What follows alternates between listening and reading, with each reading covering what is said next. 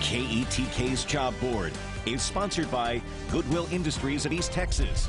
Wilson Robertson and Cornelius PC in Tyler is hiring. They're looking for an associate attorney. They're looking for someone who's a highly motivated associated associate trial attorney for insurance defense litigation to join their insurance defense team. Now, the ideal candidate will have experience in developing case strategy, managing discovery, attending depositions, hearings, mediations, and trials. Now, if you're looking for a job, if you're an employer who wants to post a job, click job board on KETK.com or on our app. You'll find this job and look through thousands of others all across East Texas.